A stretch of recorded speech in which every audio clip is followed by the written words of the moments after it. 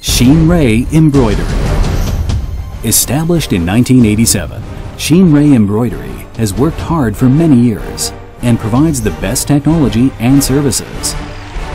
With professional production techniques and strict quality control, we provide OEM or ODM services and have won customers' appreciation and affirmation.